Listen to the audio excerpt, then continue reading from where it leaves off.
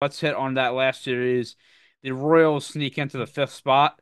Um, and they are set to play the Orioles, which again, John makes me sad because I really wanted to have the bet between us in this series American and championship possibility. and I would have And I would have been much more positive on the Tigers if they were playing the Orioles, but hold on, hold on. I don't throw this to Will. I want you to start with me on this. I will. I, I was going I to got look. a tangent here. I, I I will let you Oh, go. boy. So I'm gonna get the mute button ready. so let me let me just pre- like again preface this. Uh, the Royals come in a little bit wounded as well. Um, they kind of really cooled off. Uh, I think they were like under just under 500 in the last two months of the year, and um, you know, again, there was a chance where they looked so good for a wild card spot and they almost fell out, but they faced the Orioles, who are getting a lot of guys back. John, the floor is yours. I want to take our audience and the three of you back. I'm 10 about to meet ago. you. I swear to God. I want to take you back 10 years ago to 2014. The Orioles. We lost the World Series, but not even making it. No, we didn't. We. Okay. Yeah, that's one way to, to put it. All right. Um. Anyway, so the Orioles played the Royals in the ALCS. I thought that after beating the three-headed monster of the Tigers, we were going straight to the World Series. I was so excited. I was so happy. We got swept we went into a tailspin over the span of four years, and it just got progressively worse. Now, wait, thanks. Now we are back 10 years later, and you have Orioles Royals. I want to win this one so bad for my soul. It's not even funny.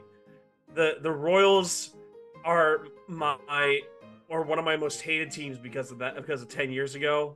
I cannot handle another loss.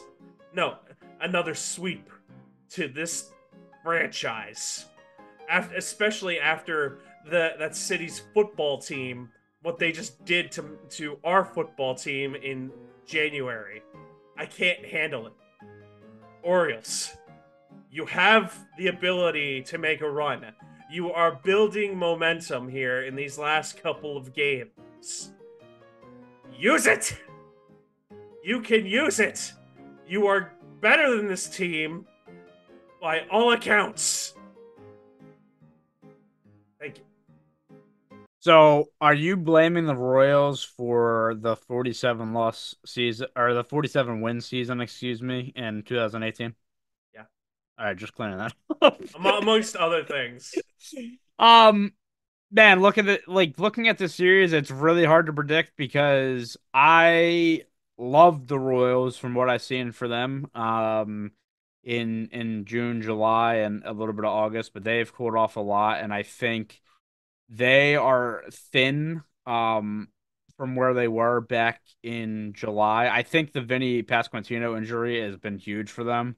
Um, that's like a a premier bat in your lineup that you lost that has kind of um now made it a hole there. Obviously, Bobby Witt's still there. The pitching has been still good. Um, but Will, I mean, what are your thoughts on this series? You were, I, I keep saying it, but you were the guy that was hot on the Royals coming into this year, not playoff hot. Um, but Yeah. you, but you liked a lot what they did, and and we know who the Orioles are. I think the Royals are a shell of the team that they were. Their offense has been really bad for the last couple weeks, and there is no sign in my eyes that it's going to come out of it, especially out of this Brave series where the Braves were still fighting for something, and the Royals, at least in my eyes, they were still fighting for seeding, and I think it potentially could have mattered with who they faced. They were not productive at all versus the Braves, really, even though they won one of the three games. I think the Orioles offense has found itself again in the last week now that everyone's healthy. If Adley Rutschman can join that party, then watch out because they could explode in the postseason. And being that they're playing all three games in Baltimore, I think the Royals are about to get smacked.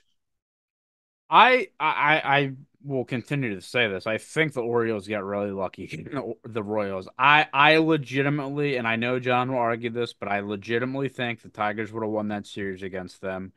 And now for the Orioles, I see a path to a potential, you know, World Series berth or, um, at, at the very least, uh, a championship and that's what you series. need sometimes. And, and that's what you need. As you said, I mean, I think you said it perfectly. They are a shell of themselves from what they were. Are they still you know, a, a playoff team. Like, do they deserve to be here? Yes. But they have a lot of questions now. They kind of limp in. The the game's being in Baltimore, like you said. Um, and John, I mean, you kind of alluded to, I'll let you hit on this point as well. The Orioles are starting to get healthy again. Um, I still think the pitching uh, being as hurt as it is could cause concerns for maybe not this series, but as we move on in the playoffs. Um, what are your thoughts on that? Uh, the bullpen is a bit worrisome. Uh, I don't really think that we have a uh, closer. To be honest, Seranthony Dominguez. At least Sir Anthony Dominguez has postseason experience and was kind of closing for the Phillies in 22. Thanks for making that. that what we're calling that? Uh, you, I mean, they Sorry, had my a, shirt says Orioles, but it's blue to hide it. they had a CEO. I they had a proven postseason performer in Craig Kimbrel, and then they DFA'd him. I don't know what that was all about. I, I don't know. They saw what the Phillies did with him in 23 and were like, no, no, no, no, no. It is kind of funny. They used him for the whole year, and then they must have seen what he did the last playoffs, and they're like, "You're not coming with us to the He had an postseason. ERA Get of like here." 10 and a half since the Yeah, All Star it, break. it was, No, I know. It was He- rough. I joke. he had In an my opi- he absolute should've- roller coaster.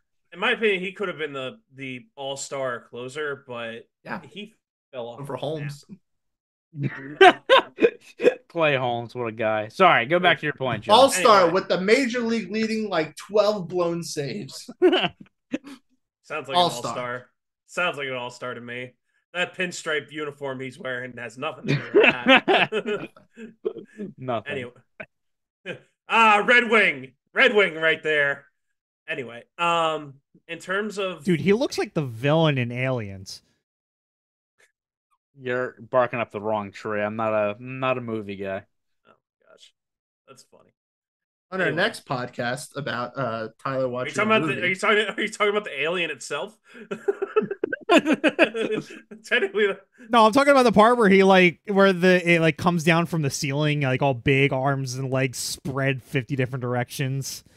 oh, the Queen. Oh my gosh. Anyway, um, yes, correct.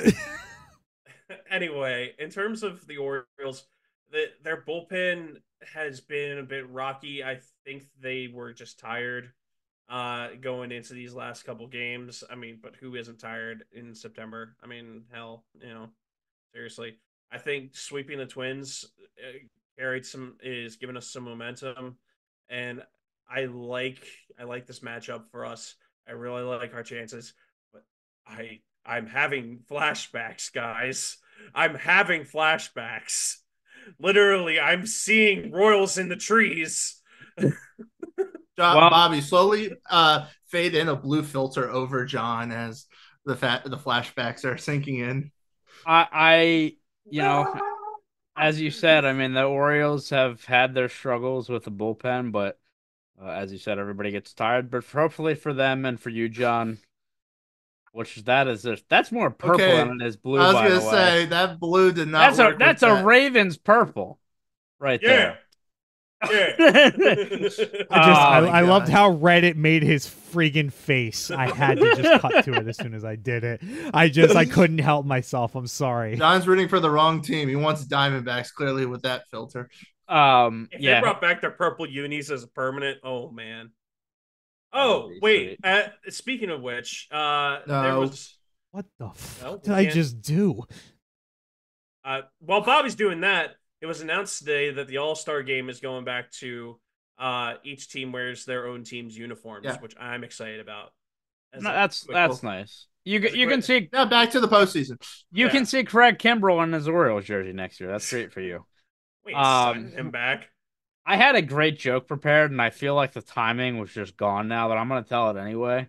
Uh, hopefully for the Orioles and their fans, the, the Orioles are woken up when September ends and their bullpen can get it together in October. But I like that. Yeah, I know. Wake up the bullpen when Uh, September ends. yeah, I like it. it, it, it Can felt like wake a up the timing bats, too? test. Yeah, wake everything. the bats up too. Wake them up when September ends. It's October now, and the Orioles need to be ready.